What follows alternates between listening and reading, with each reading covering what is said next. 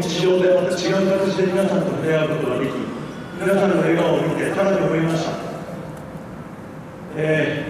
ー、いつも本当に我々の後ろから力強く、えー、皆さんの経営で後押ししてもらいながら戦っている日々ですがやはり皆さんと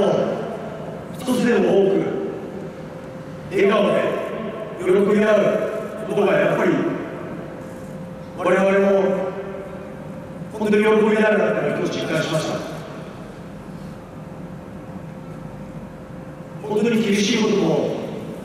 サッカー選手としてもしくはアジアンとしてチームとしてこれからも多くあると思います。ただ